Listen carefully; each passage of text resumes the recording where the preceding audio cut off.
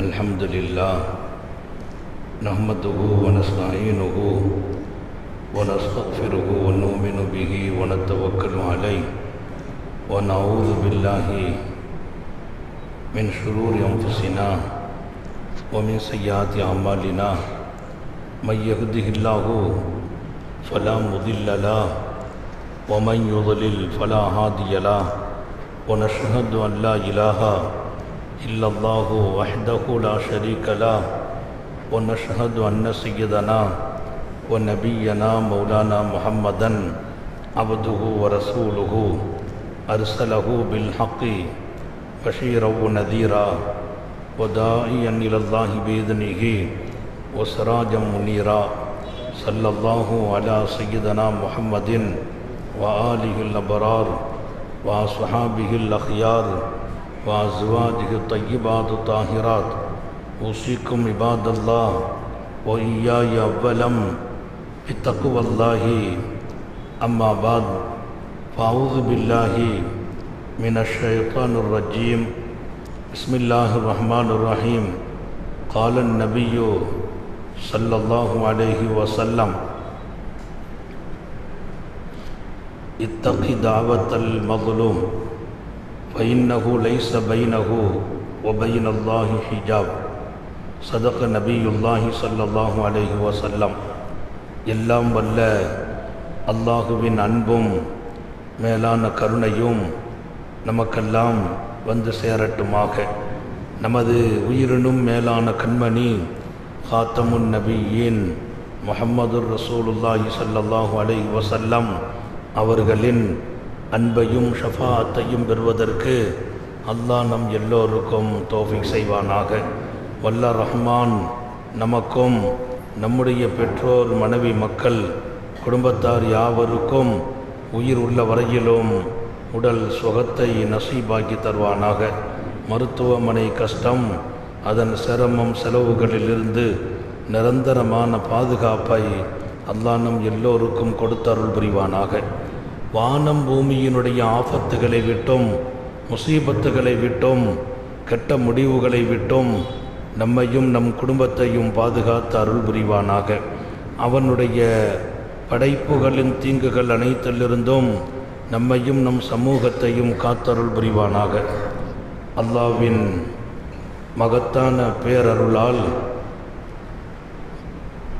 நபிகள் நாயகம் சல்லல்லாஹு அலைஹி வசல்லம் வாழ்க்கையில் எங்கேயும் நாம் பாதிக்கப்பட்டு விடக்கூடாது என்பதில் மிகுந்த அக்கறையோடு இந்த சமுதாயத்திற்கு அறிவுரை சொல்கிறார்கள்.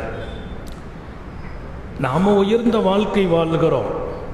எல்லா வகையிலும் ஈடேற்றமான வழியை நோக்கி நமது பயணம் இருக்கிறது. யாருமே வாழ்க்கையில் நஷ்டப்படணும்னு நினைக்க மாட்டாங்க. கஷ்டப்பட்டு சம்பாதிக்கிறதும் கூட நஷ்டப்பட்டுறக்கூடாது எங்கேயுமே நம்ம வாழ்க்கையில் கீழே விழுந்துடக்கூடாதுன்னு நினைப்பாங்க. நபிகள் நாயகம் சல்லல்லாஹு அலைகோ செல்லம் அதை நமக்கு அதிகமாக வலியுறுத்துகிறாங்க எங்கே நீ வீழ்ந்து விடுவாயோ அந்த இடத்தை குறித்து எச்சரிக்கிறாங்க. உலகத்தில் நீ மனிதர்களுக்கிடையே வாழ்கிற போது அநீதி விஷயத்தில் கொஞ்சம் கவனம் தேவைன்னாங்க. அநீதி விஷயத்தில் கவனம் தேவை. உன்னுடைய வேகத்தில் வாலிபத்தில் மூர்க்கமான அந்த காலத்தில் யாருக்கும் அநீதி இழைத்து விடாதே. அந்த அநீதி என்பது சாதாரணமானதல்ல. அதன் பாதிப்பு கடுமையாக இருக்கும். அநீதியினுடைய பாதிப்பு இருக்குது அது ரொம்ப பெரியது. நம்மால் அநீதிக்கு ஆளாக்கப்படுறவங்க அவங்க சாதாரணமானவங்களோ உயர்ந்தவங்களோ தெளிவாக சொன்னால் அவன் இஸ்லாம் இல்லாதவராக இருந்தாலும் சரி. மூமினே இல்லை. அவன் நம்மால் அநீதி இழைக்கப்பட்டான் என்றால் அவன் கையேந்தினால் நீ எழுந்திருக்க முடியாதுன்னாங்க சல்லல்லாலேசன் உன்னால் அநீதிக்கு ஆளாக்கப்பட்டவன் கையேந்தி விட்டால் நீ எழுந்திருக்க முடியாது. அநீதி விஷயத்தில் ரொம்ப எச்சரிக்கை. நமக்கு கொஞ்சம் காசு சில சந்தர்ப்பம் சில சூழ்நிலை இன்னொருவருக்கு அநீதி செய்யும் நிலையில் ஏற்படுத்திடும் அது நீண்ட காலத்தை பாதிக்கும் வளர்ச்சியை பாதிக்கும் நம்முடைய வாழ்க்கையில் வாழும் காலத்தில் அல்லாஹ் அதற்கு பகரம் தராமல் மௌத்தாக்குறது இல்லை உலகத்திலேயே பகரம் கிடைச்சிடும் அல்லாஹ் நம்ம எல்லாரையும் பாதுகாக்கணும். ஹரம் ஷரீஃபினுடைய பகுதியில்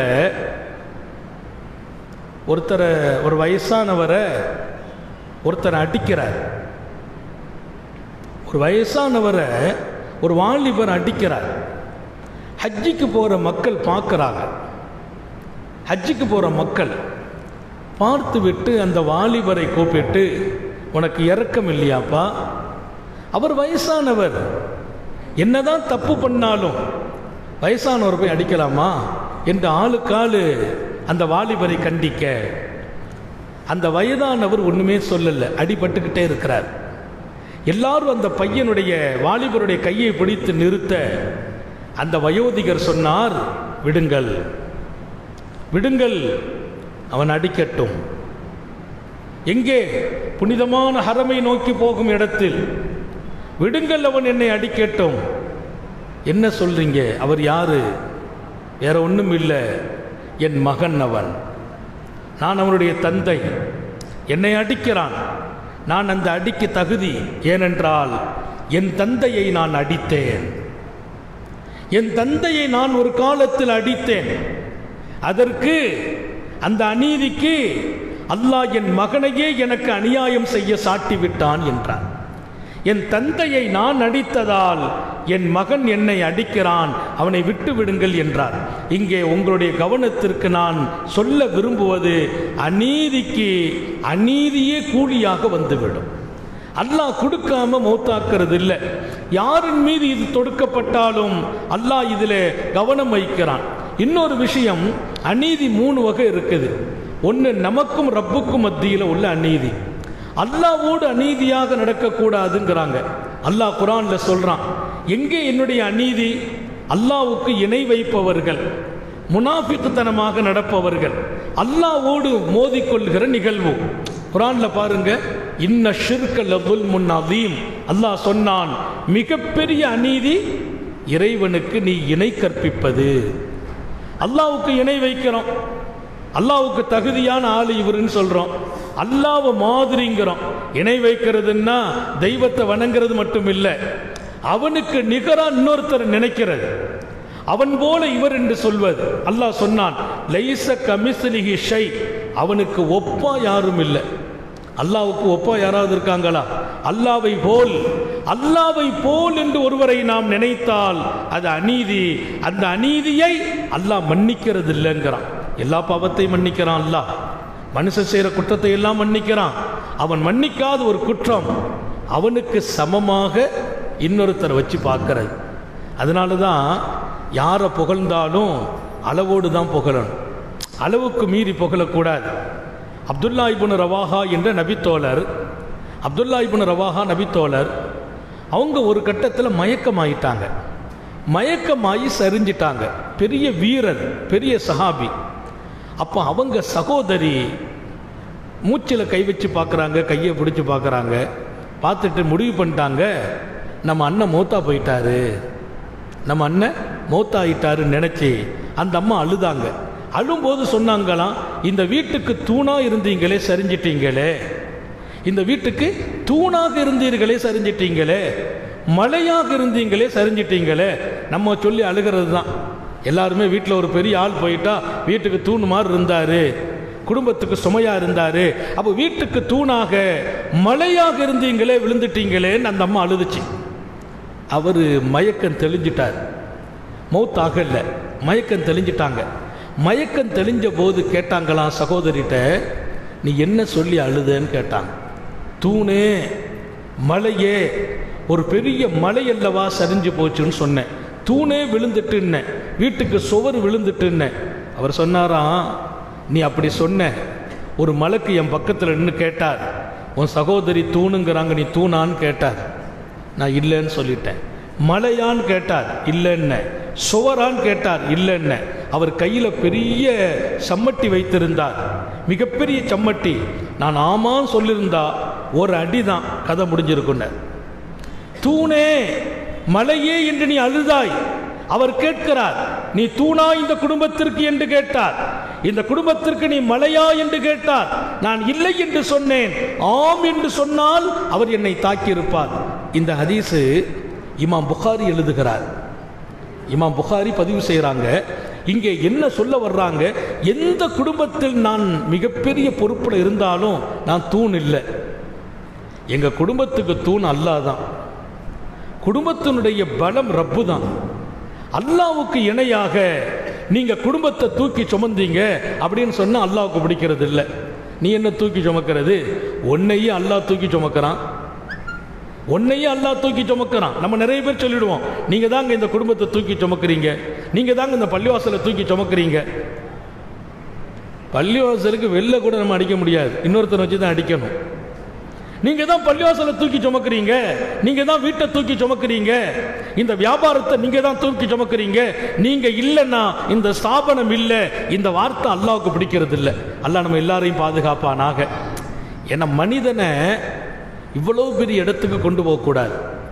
அப்போ அப்துல்லா இப்னு ரவாஹாவை பார்த்து நீங்க தான் இந்த து- வீட்டுக்கு தூணா இருந்தீங்க விழுந்துட்டீங்களேன்னு சொன்னபோது அந்த மலக்கு கேட்கிறார் நீ தூணா என்றார் நான் இல்லை என்றேன் ஆம் என்றால் ஒரே அடி அடித்திருப்பார் கையிலே இரும்பு சம்மட்டி வைத்திருந்தார்.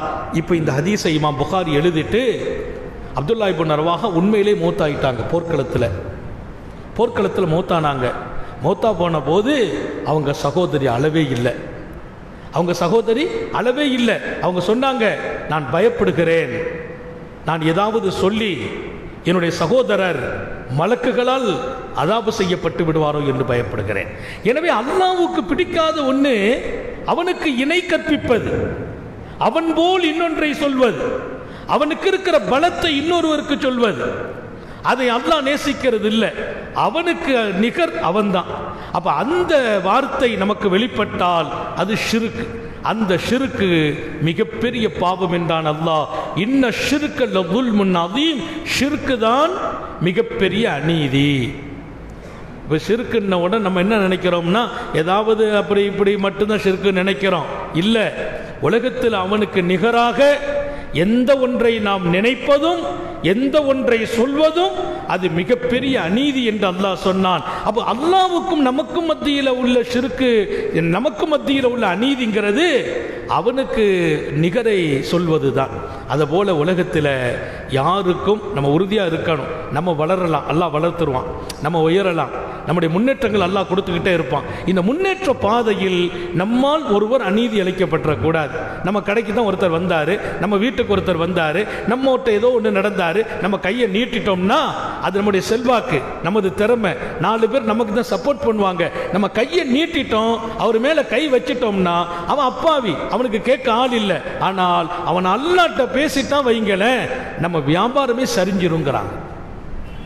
வளர்த்து வந்த அந்த வியாபாரம் கூட சரிஞ்சு போயிடும். அதனால தான் வியாபாரத்தில் கஸ்டமர்கள் கொஞ்சம் சத்தமாக பேசிட்டாலும் நம்ம பணிஞ்சு போகணும். நம்ம பதிலுக்கு கூட குறைய பேசி நீண்ட நெடும் காலத்தினுடைய நஷ்டத்துக்கு காரணமாயிடக்கூடாது.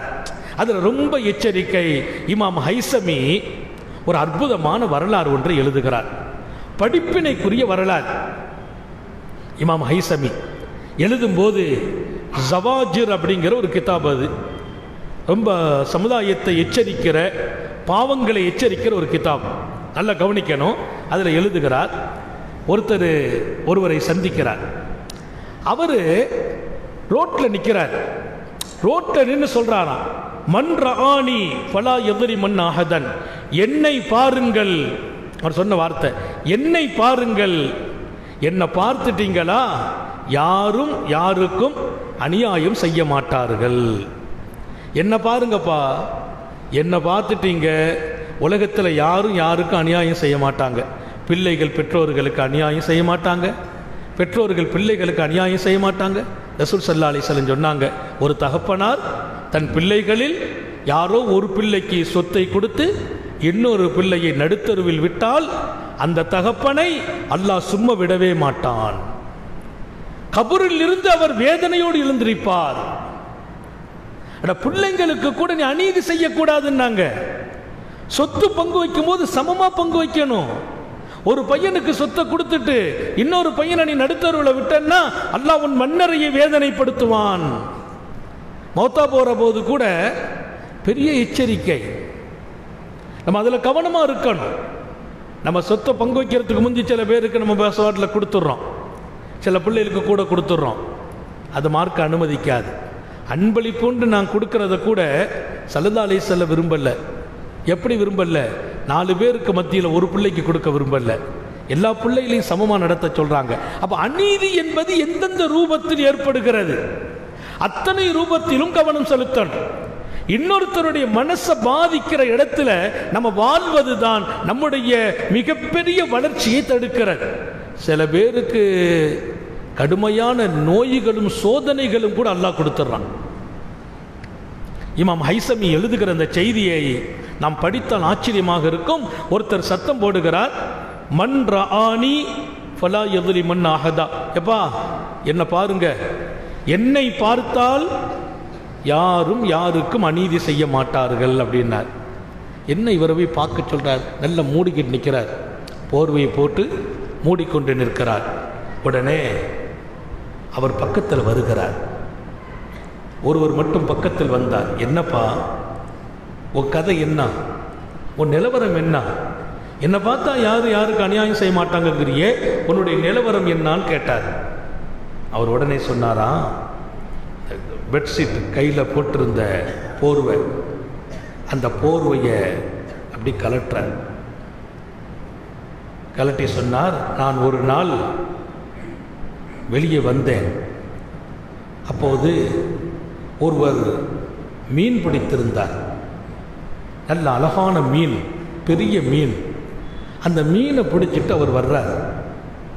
நான் அவரிடத்தில் கேட்டேன் அந்த மீனை எனக்கு கொடுத்துருன்னு கேட்டேன். அவர் சொன்னார் இல்லை இந்த மீனை நான் விற்று இந்த காசை வச்சு தான் இன்னைக்கு என் குடும்பத்துக்கு சாப்பாடு வாங்கணும். இந்த மீனை விற்று இந்த காசை வச்சு தான் இன்னைக்கு என் குடும்பத்துக்கு சாப்பாடு. நீ காசை கொடுத்தா நான் மீனை கொடுத்துட்றேன். காசை கொடுத்துட்டா மீனை கொடுத்துட்றேன்னார். உடனே இவர் என்ன பண்ணாரு? அவர் சொல்கிறார் நான் ஓங்கி ஒரு அடி அடித்து ஆளை கீழே தள்ளி மீனை தூக்கிட்டு போயிட்டேன்.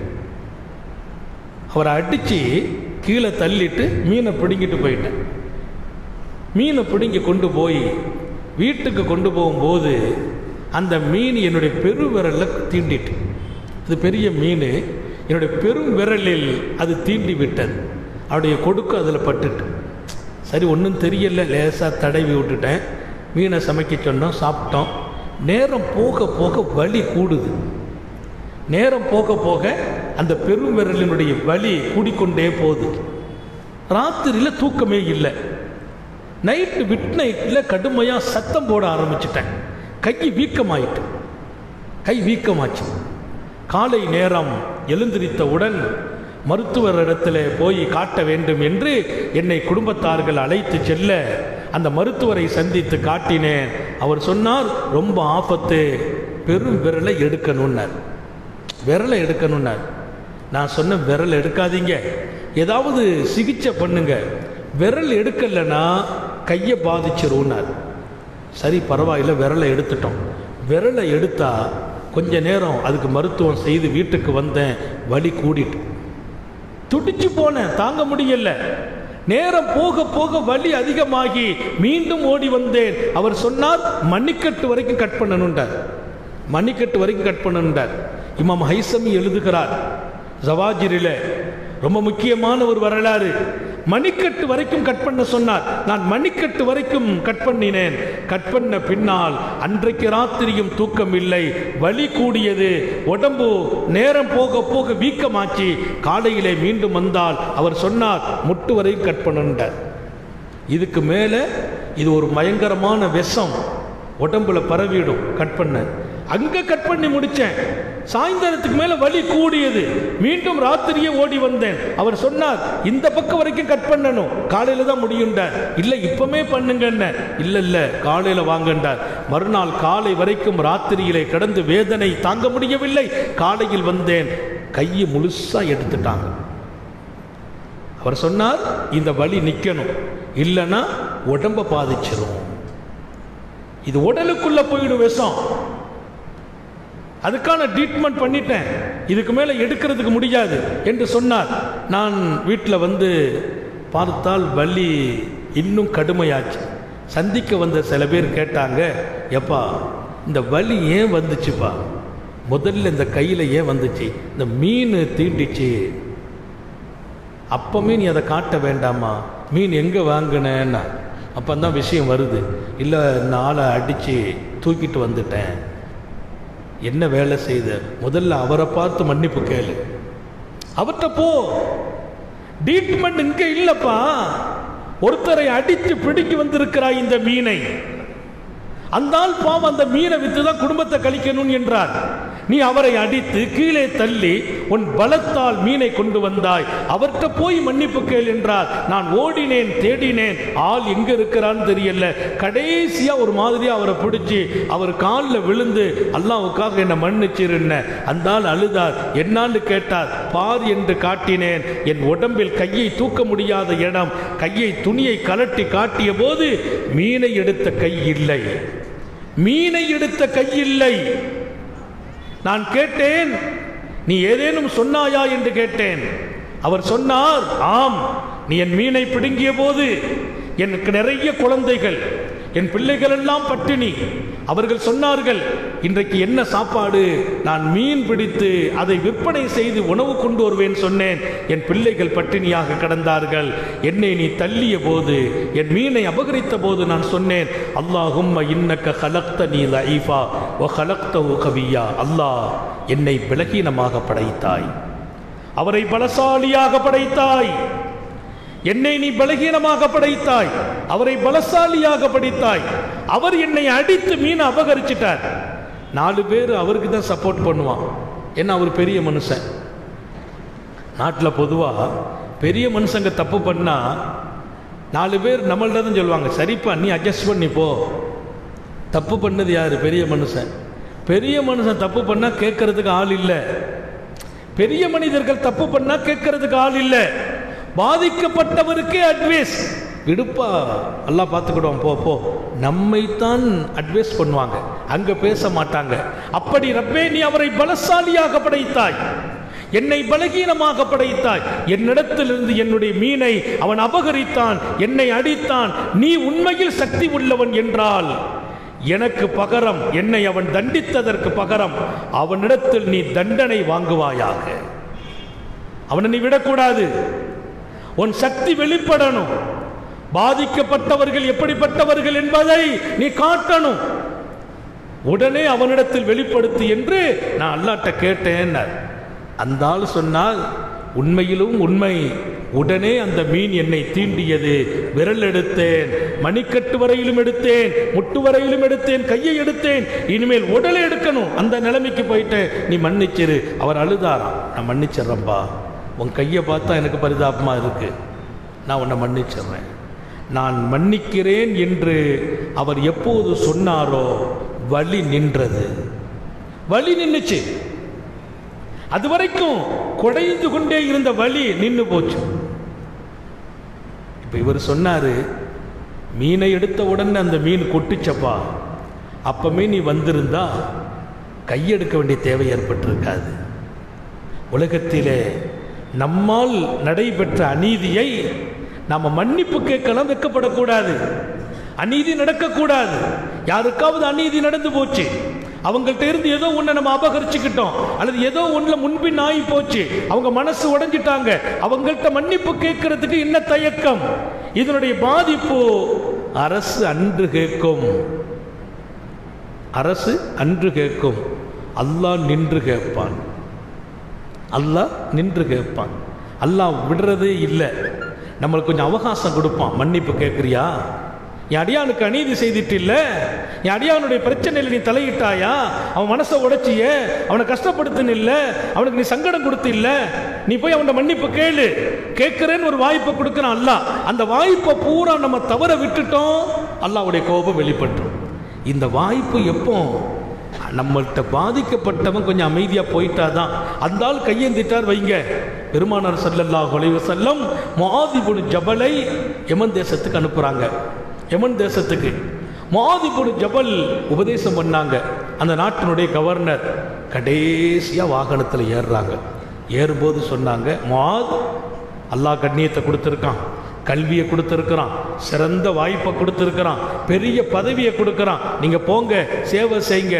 ஆனால் ஒரே ஒரு விஷயம் அதை மட்டும் கவனமாக இருங்க. எல்லாத்தையும் இல்லாமல் ஆக்கிடும் அந்த ஒன்று என்ன அது? இத்தகைதாவத்தல் முதலும். உங்களால் ஒருவர் பாதிக்கப்பட்டு விடக்கூடாது. உங்களால் ஒருவர் அநீதி இழைக்கப்பட்டு விடக்கூடாது. அப்படி அநீதி இழைக்கப்பட்டால் அவருடைய பதுவா உங்களை வாழ விடாது என்றார்கள். உங்களால் ஒருவர் அநீதி இழைக்கப்பட்டால் அவருடைய பதுவா உங்களை வாட விடாது. அவர் அல்லாட்ட கையேந்தினால் திரையை நீக்கிட்டு அல்லாஹ் ஏற்றுக்கிடுவான் இப்போ நம்ம துவாலாம் திரை இருக்குது. திரை இருக்குது. பாதிக்கப்பட்டவங்களுடைய துவாவை திரையை நீக்கிடுவான் அல்லாஹ். ஏற்றுக்கிடுவான் ஏற்றுக்கிட்டான் உன்னுடைய தலைமுறை கூட பாதிக்கப்படும். சந்ததிகள் கூட பாதிப்பு ஏற்படும். அதனால இங்கே நாம் வாழ்கிறோம் வளருவோம் உயர்வோம் சம்பாதிப்போம் நல்ல நிம்மதியை பெறுவோம். இந்த வாழ்க்கை துறையில் எந்த ஒரு மனிதனும் நம்மால் பாதிக்கப்பட்டுடக்கூடாது அவன் நம்மள்ட்ட எதிரி பேசுவான் வேகமாக பேசுவான். நம்ம கொஞ்சம் சாப்பிட்டா தான் போகணும். ஏன்னா நம்ம பதிலுக்கு கூட குறைய நடந்துச்சு வைங்களேன் அது அநீதியாக போயிடும். அந்த அநீதி நம்முடைய மிகப்பெரிய வாழ்க்கையின் வளர்ச்சியை இன்னொரு பக்கம் அடுத்த தலைமுறைகளை கூட அது பாதித்து விடுகிறது என்பதை உங்களுடைய கவனத்தில் நான் நிறுத்துவேன். காத்தமுன் நபியின் சல்லல்லாஹ் வலைவ செல்லம் இன்னொரு வழியிலே சொல்றாங்க. அத்துல்மு துல்மாத்தி யோமல் கியாமா. உலகத்தில் தான் இந்த நஷ்டம். உலகத்தில் இப்படி ஒரு பாதிப்பு.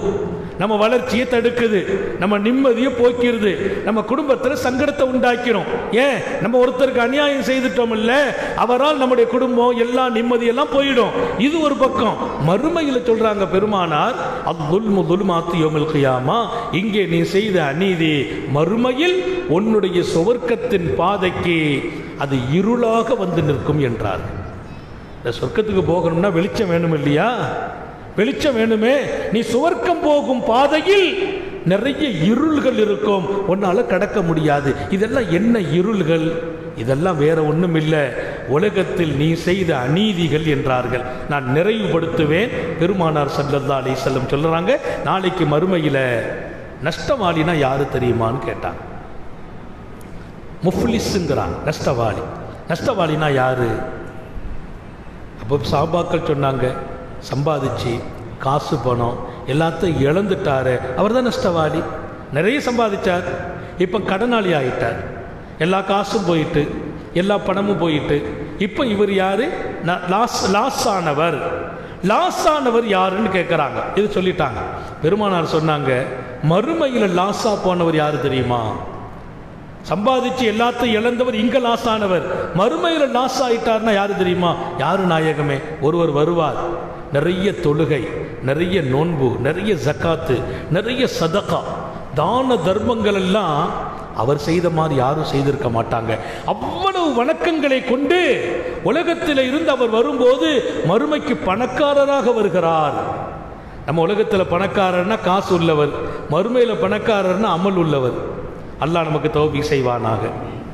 சுலைமான் நபியினுடைய தாயார் சொல்லுவாங்களாம் மகனை கூப்பிட்டு மகனே ராத்திரி தூங்காதப்பா. யாரு? சுலைமா நபி அம்மா. நீ பெரிய பணக்காரன். கோடி கோடியா சப்பளை பண்ற. உலகத்தையும் ஆட்சி செய்கிறாய். லாத்தனாமு லைலா. ராத்திரி தூங்கிடாத. அதிக நேரம் நின்று வணங்கு. இல்லைன்னா குந்த யோமல் கியாமத்து பக்கீரா இங்க நீ பணக்காரனா இருக்கிற. கியாமத்துல மறுமையில நீ ஏழையா வருவேன்னாங்க. அங்க ஏழையா வருவ. அல்லா நம்ம எல்லாரையும் பாதுகாப்பானாக. ராத்திரி தூங்குனா மறுமையில் ஏழை ஆயிடுவேங்கிறாங்க அவர் ராத்திரி தூங்கக்கூடாதான்னா இல்லை தூங்கணும். கொஞ்ச நேரமாவது நின்று வணங்கணும். அல்லா நம்ம எல்லாருக்கும் தோபி செய்வானாக. இரவு பூரா தூங்கிட்டா மறுமையில் ஏழை. அங்கே தான் பணக்காரனாக இருக்கணும். நிறைய அமல்களை கொண்டு போகணும். அதுக்கு இரவு மிக முக்கியம். அல்லா நம்ம எல்லாருக்கும் தோபி செய்வானாக. ரம்ஜானில் பிரச்சனை இல்லை. சகருக்கு எஞ்சிக்கிறோம் ஒரு ரெண்டு ரெக்காத்தோ நாலு ரெக்காத்தோ தொழுதுடுறது அதுலேயும் கூட ஒருத்தர் கேட்குறார் சகருக்கு எஞ்சம் லேட் ஆகிட்டு என்ன செய்கிறது தொலைவா சாப்பிடவா? நான் சொன்ன சாப்பிடுப்பா. நீ தொழுதுட்டு. பாங்கு சொன்ன பின்னால் ஃபோன் அடித்து தொழுதேன். பாங்கு சொல்லிட்டாங்கன்னா கஷ்டமாக போயிடும். சகருக்கு முக்கியம் கொஞ்சம் அட்வான்ஸாக எஞ்சிடணும் ஒரு நாலு ரெக்காது ஏன்? மறுமையில் நீ ஏழையாக மாட்டாய். அல்லா நம்ம எல்லாருக்கும் தோபி செய்வானாக. நாளைக்கு மறுமையில் செல்வாக்கா போகணும் செழிப்பா போகணும் பறக்கத்தா போகணும். சில பேர் சொல்லுவாங்க இல்லையா? எப்படிப்பா? வாழ்க்கை செழிப்பா இருக்குது. இந்த செழிப்பு அங்கே. அங்கே செழிப்புன்னா நிறைய நற்பாக்கியங்களோடு. அவருக்கு நான் அப்படி கொடுத்துருக்கேன். பள்ளிவாசலை கட்டி கொடுத்தேன். அவருக்கு ஒரு லட்ச ரூபா சதக்கா கொடுத்தேன். இவருக்கு அஞ்சாயிரம் ரூபா கடன் அடைச்சேன். இவருக்கு ஒரு குமருக்கு கல்யாணம் முடிச்சு கொடுத்தேன். இதுதான் செழிப்பு. அங்கே போறது. அவ்வளோ செழிப்பாக வரணும். அப்படி ஒருத்தர் வந்தார். அவ்வளவு செய்திருக்கிறார். நிறைய குமர்களுக்கு உதவி செய்தார். நிறைய ஏழைகளுக்கு கொடுத்திருக்கிறார். அங்க வந்த உடனே ஒருவர் வந்தாராம். யா அல்லாஹ் சத்தமணி ஹாதா. இந்த ஆள் என்ன கண்ணா பின்னான் திட்டி என் கண்ணியத்தை உலகத்தில் கெடுத்துட்டான் அப்படிம்பார். என்னப்பா சொல்கிற ஆமா ரப்பே ஒரு இடத்துல அவன்கிட்ட போய் நான் பேசினேன். ரொம்ப கௌரவ குறைவாக நடந்து என்னை திட்டி போட்டான் அந்த ஆள். மானாங்கனியமாக பேசிட்டான். அப்படியா? சரிப்பா மன்னிச்சிரு. இப்போ மன்னிக்கிற லெவலில் இல்லை. நானே கஷ்டப்படுறேன். நான் ஏழையாக வந்திருக்கிறேன். என்ன வேணும்? அவர்கிட்ட இருந்து கொஞ்சம் அமலை எடுத்து கொடும்பா அல்லாஹ் கொஞ்சம் அமலை எடுத்து அந்த திட்டுக்கு பகரமா இன்னொருத்தர் வருவாராம் வரபனி ஹாதா. யா ஒரு தடவை அவருடைய வீட்டுக்கு போனேன். என்னை அடித்து போட்டான் அந்த ஆளு. என்னை அடித்ததுக்கு பகரமா அவர் நன்மையை கொடு. அவருக்கு கொஞ்சம் நன்மை எடுத்து கொடுப்பான். இன்னொருத்தர் வருவார். யாரெல்லாம் எங்களோட கடன் வாங்கினா அந்த தரவே இல்லை. என்ன பண்ணணும்? அதுக்கு பகரமா நன்மை கொடு. இப்படி உலகத்திலே இருந்து செழிப்போடு வந்திருக்கிறார். வரக்கத்தான அமல்களை கொண்டு வந்திருக்கிறார். ஆனால் அநியாயம் செய்திருக்கிறார். ஒருத்தரை அடித்திருக்கிறார். ஒருத்தரை திட்டி இருக்கிறார் ஒருத்தரிடத்தில் கடன் வாங்கி கொடுக்கல. ஒருவரை அவமானப்படுத்தி இருக்கிறார். அவ்வளவு பேரும் வந்து அவருடைய நன்மைகளை வாங்கி வாங்கி வாங்கி கடைசியில் அவர் லாஸாகி போய் நரகம் வீசப்பட்டார். இப்போ அநீதியை பாருங்க. மறுமையில் செழிப்பான அமல் உடையவரை லாஸ் ஆக்கி நரகத்துக்கு அனுப்புது. ஏன்னா நம்ம இங்கே ஒருத்தட்ட பேசிட்டோம் வைங்கள திட்டினோம் வைங்கள அந்த ஆள் பேசாடு உட்காந்துருவான் ஏன்? வருவன் நான்லாம் நிறைய பேரை பதிலே சொல்கிறது இல்லை சில நேரத்தில் மனசு சொல்லும். பார்த்துக்கிடுவோம். அங்கே போய் பார்த்துக்கிடுவோம். அங்கே நமக்கு கொஞ்சம் கம்மியாக இருந்துச்சுன்னா ஒரு மாதிரி அட்ஜஸ்ட் பண்ணிக்கிடலாம். அமல் குறைவான இடத்தில் அமல் கிடைக்குமா என்று எதிர்பார்க்கிற இடம். யாரும் இதில் சரியான மனிதர்களானவர்களும் கூட நம்ம சொர்க்கம் போகணும் ஆசைப்படுவாங்க. அதனால இங்கே நான் தெளிவாக சொல்கிறேன் உலகத்தில் நம்முடைய உயர்வை தடுக்கிற நமது நிம்மதியை குலைக்கிற நமது சந்ததிகளை கூட கீழே வீழ்த்தி விடுகிற ஒரு செயல் வேண்டாம். அதுதான் அநீதி என்று சொன்ன எம்பெருமான் மகாதிபுனு ஜபலை எமந்தே தேசத்துக்கு போகிற போது நீ செழிப்பாக இருக்கிறப்பா யாருக்கும் அநியாயம் மட்டும் பண்ணிடாத அந்த ஆள் கையேந்தினான்னா எல்லாமே சரிஞ்சு போயிடும் நாங்கள் அல்லாஹ் அந்த நிலையிலிருந்து பாதுகாப்பானாக. சரிந்து விடாமல் விழுந்து விடாமல் நாளைக்கு மறுமையில் யாரும் வந்து பிடிச்சிடாம முடிஞ்ச வரைக்கும் கௌரவம் கண்ணியத்தெல்லாம் விட்டுறணும். மன்னிப்பு கேட்டுறணும். எப்பா நான் கூட குறைய பேசுனா மன்னிச்சுக்கா. உனக்கு எதுவும் கடன் தரணுமாப்பா? வாங்கியப்பா அன்னைக்கு கொஞ்சம் விஷயத்தில் வியாபாரத்தில் கொஞ்சம் கூட குறைய நடந்துட்டு அல்லா ரசூலுக்கா மன்னிச்சுக்கா. இப்போ இந்த உலகத்தில் நம்ம மன்னிப்பு கேட்கறதோ கொஞ்சம் காசை கொடுக்கறதோ ஒன்றும் பிரச்சனை இல்லை. நாளைக்கு சம்பாதிச்சுக்கலாம். அங்கே போய் மாட்டணும்னா அமல்கள் பூரா போயிடும். எனவே மறுமையிலும் மாட்டக்கூடாது.